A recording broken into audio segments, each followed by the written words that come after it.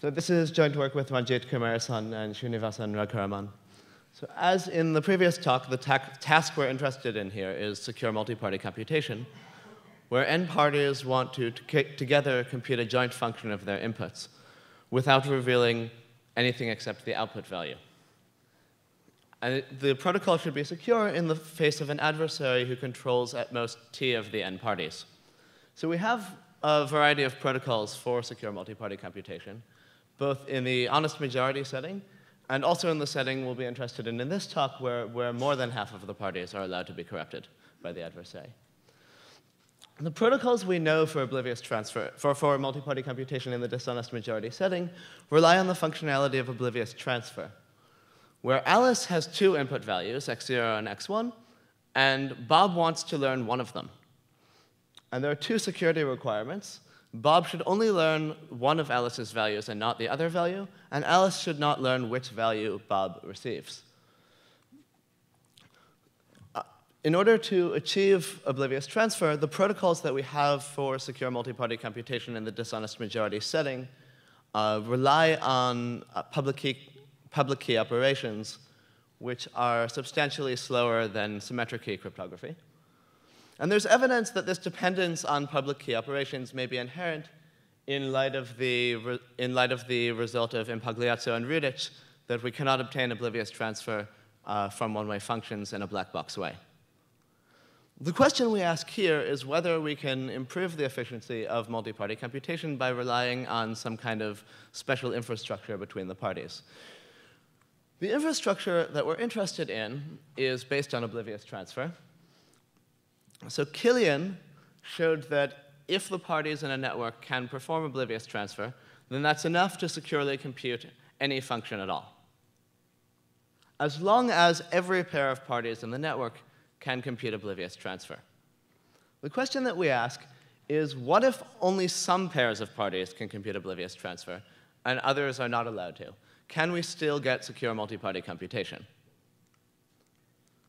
So here's the model. Uh, we, we have n parties, and every pair of parties is assumed to be connected by secure point-to-point -point channels. But some pairs of parties have these special oblivious transfer channels represented by edges. And a pair of parties connected by an oblivious transfer channel uh, can compute oblivious transfer securely as many times as they want. So why is this a reasonable model? First of all, um, the protocols, the, the way that we know how to get MPC in a dishonest majority setting is through oblivious transfer. Also, we can achieve oblivious transfer not only from computational assumptions such as public key crypto, uh, but also even in a world where public key cryptography uh, is impossible, we can still get oblivious transfer from trusted hardware in the from, from special purpose hardware in the form of noisy channels. Also, oblivious transfer, uh, the cost of oblivious transfer can be amortized. We, we can perform, a pair of parties can perform a one-time setup phase where they run oblivious transfer several times on random values. And subsequently, in a very fast online phase, relying only on one-way functions, uh, they can perform additional, they can perform additional oblivious transfers uh, under computational security. So this means that it, it makes sense to consider a, a network where some pairs of parties have invested a one-time computational cost to establish the ability to perform efficient oblivious transfer, and other pairs of parties, maybe that just joined the network or something, uh, don't have the ability to perform oblivious transfer efficiently. So the question we ask is, given a network where some pairs of parties can perform oblivious transfer, can we still perform secure MPC in the network? And in particular, uh, which edges can we add to the network? Which other pairs of parties uh, can, can, perform oblivious transfer? So the starting point of our, of, uh, of our investigation is a paper of Harnik, Ishai, and Kushilevitz, who showed that if 99% of the parties are allowed to be corrupt, there exists a particular sparse network um, that allows every pair, that allows every pair of parties to perform oblivious transfer securely. Um, and there are also some uh, lower bounds, which I'll discuss in a couple of minutes.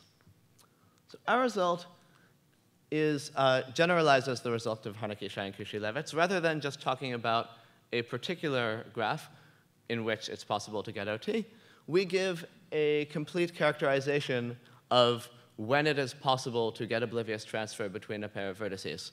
So, so, so given a graph, we give a categorization of exactly which edges, which oblivious transfer edges can be added to the graph, which pairs of parties can perform oblivious transfer in an information theoretic setting. So before we get into the details, let's peek ahead and look at what's out there. So, so let's look at a, a few examples of, of four-party graphs where two of the parties are allowed to be corrupt and see in which cases we can get OT and in which cases we can't. So in each of these examples, we're going to ask, is it possible to get oblivious transfer between party A and party B?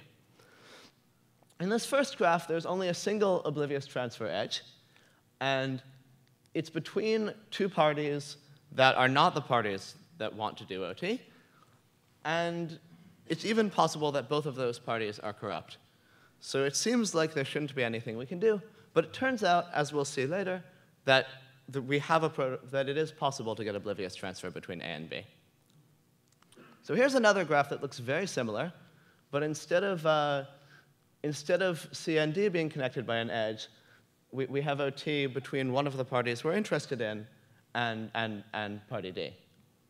And even though this looks almost identical, in this setting, we cannot get OT between A and B. So here's another example where we actually have two OT channels. Uh, so this seems like it should provide us more power, but still we cannot get OT between A and B. So here's another example where the two OT channels meet at, at uh, party B. Party B has both of these OT channels. And in this graph, we, we can get oblivious transfer between A and B. And finally, uh, if the two OT channels meet at one of the parties other than the party we're interested in, then we can also, in this setting, get OT between A and B. So from these examples, we can see that it's not just the number of OT channels that are present in the network, or, or whether you know, each party is connected to an OT channel that's relevant. Uh, the, the exact structure of the graph of OT channels uh, is necessary to determine whether or not we can compute securely. So the key condition that uh, we're going to be interested in is one of splitting. Splits, which may be familiar from those of you who are watching the Olympics. So an n over 2, so given a pair of vertices A and B, an n over 2 split is a balanced cut in the graph. So a partition of the vertices into two sets of size n over 2 so that there are no edges from one set to the other set. So this is an example of an n over 2 split. But if we add an edge between these pairs, the, these, this pair of vertices, then an edge crosses the cut, so it's not an n over 2 split. More generally, we define a k-split to be a pair of sets of size k with no edges from one set to the other set.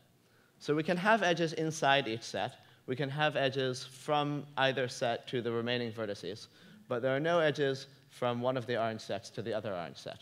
So this is an example of a four split, and again, if we add an edge between the two sets, then we have an edge crossing the cut, so it's not a four split. And we say that a graph is k unsplittable if it has no k splits. This, this brings us to uh, our main result. In the dishonest majority setting, a pair of, a pair of parties can perform oblivious transfer securely exactly when the graph is n minus t unsplittable. So let's look at what this means in two parameter settings. Um, if, half, if half of the parties are allowed to be corrupt and the other half are guaranteed to be honest, then we can perform, we can perform secure oblivious transfer as long as for every balanced cut in the graph, there's some edge crossing the cut. And if there's a balanced cut with no edge crossing, then we cannot perform oblivious transfer securely. At the other extreme, we can look at the case where all but one of the parties are allowed to be corrupt, and we're only guaranteed a single honest party. So here, uh, the condition is, is about one splits, so there's only one vertex in each set of the partition. And the requirement is the trivial requirement that we can only perform secure oblivious transfer if that pair of parties was already connected by an edge. So even if we have an almost complete graph with a single edge missing, uh, then that pair of parties cannot perform uh, secure oblivious transfer if all but one party is allowed to be corrupt. So just one word about security. For the, in this work, our protocols achieve uh, perfect information theoretic security against adaptive semi-honest adversaries. And we can compile this using zero-knowledge proofs to obtain computational security against adaptive malicious adversaries. So now I'd like to talk for a couple minutes about lower bounds.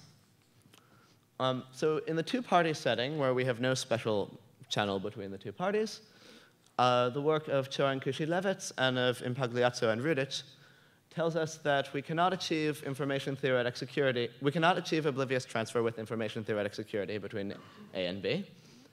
And what's more, we cannot achieve computational security from one-way functions in a black box way.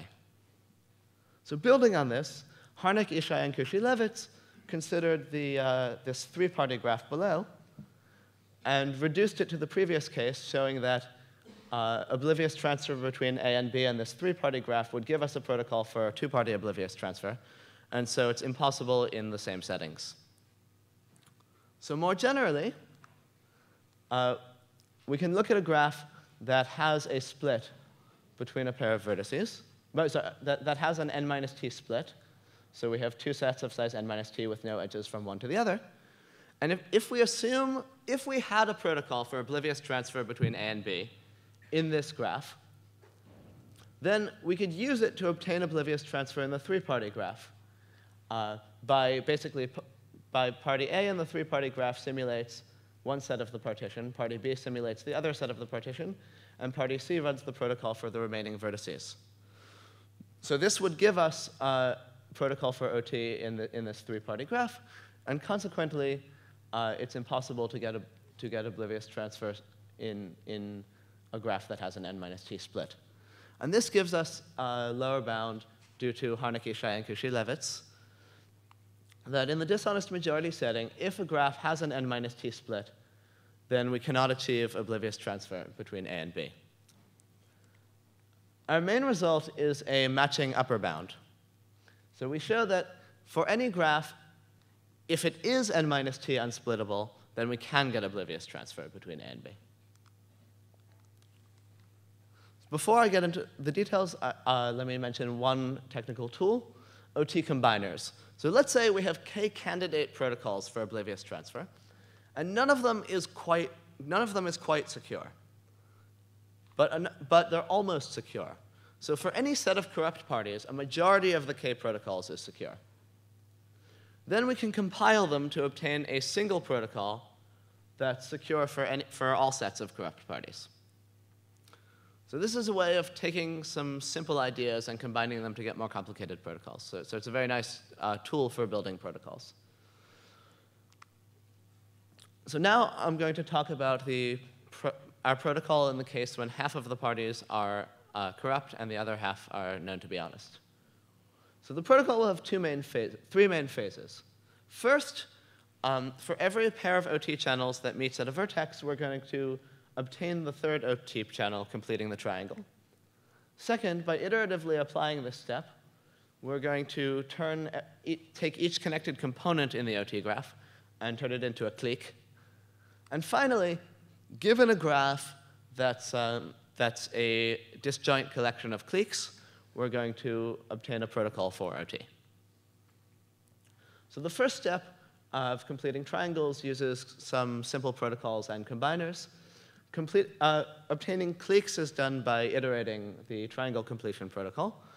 And I'm going to focus on the third step, that of turning a graph that's a collection of cliques, uh, taking a graph that's a collection of disjoint cliques, and obtaining oblivious transfer. So first, let's look at a graph that consists of a single clique plus the two vertices we're interested in, A and B. So in this graph, Um, since we know that oblivious transfer is enough to get secure multi-party computation if we have a complete graph, uh, we, we can use, we can run secure MPC on this clique. And we, we, can, we can have, as long as one party in the clique is honest, then the clique can simulate a single trusted party using secret sharing and, and, uh, and, and MPC techniques. So as long as a single party in the clique is honest, then the clique functions as a trusted party and can mediate uh, oblivious transfer between A and B. So this lets us, so, so this lets us get OT between A and B.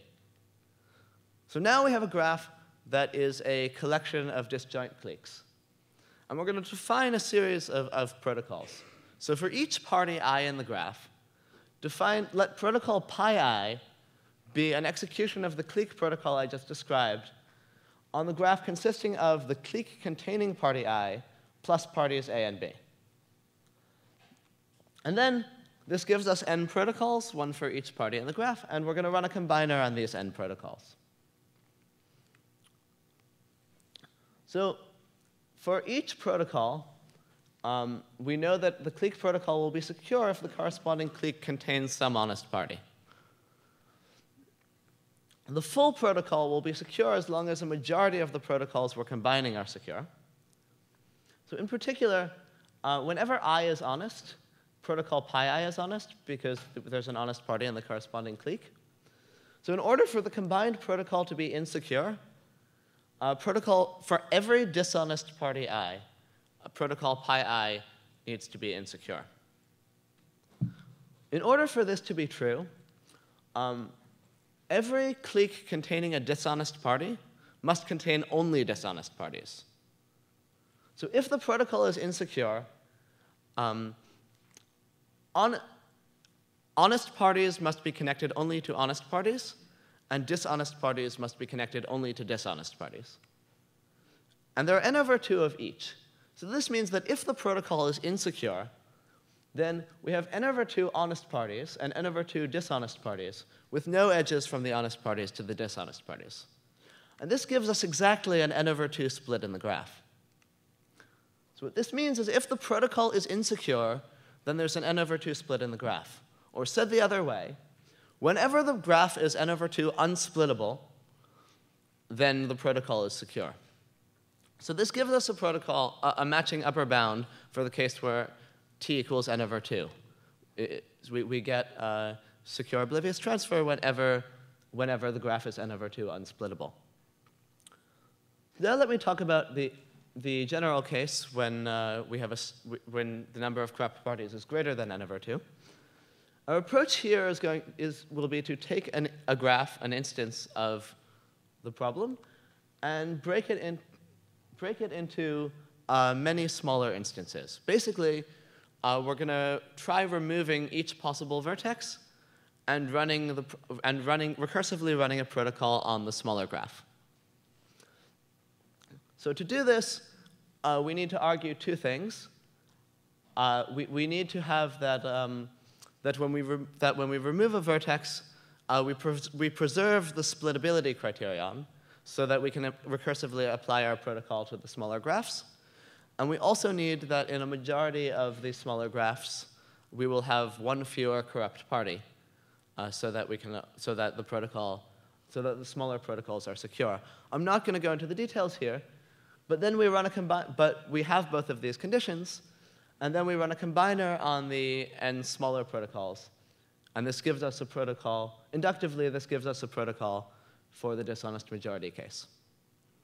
Where our base case is, is the protocol I just described, where half of the parties are honest and half are corrupt. Okay, this gives us a protocol, but what about efficiency? We're taking a graph and we're breaking it into uh, n smaller graphs, and then we're recursing. So each of these smaller graphs is broken into smaller graphs and so on, until at the bottom we get many, many instances of the base case. So this gives us uh, 2t minus n levels of recursion. So in general, it will not be computationally efficient. But in the special case where n over 2 plus a constant parties, where, where the number of prep parties is n over 2 plus a constant, then we can obtain uh, quasi, we, we, we, we can obtain quasi, we get a, we, the protocol will be quasi-polynomial time with perfect information theoretic security, or using OT extension, we can obtain a protocol that is polynomial time with computational security. We also have a second alternate protocol that's, uh, that I didn't describe that, will be, that is polynomial time if almost all of the parties are corrupt. What about in between?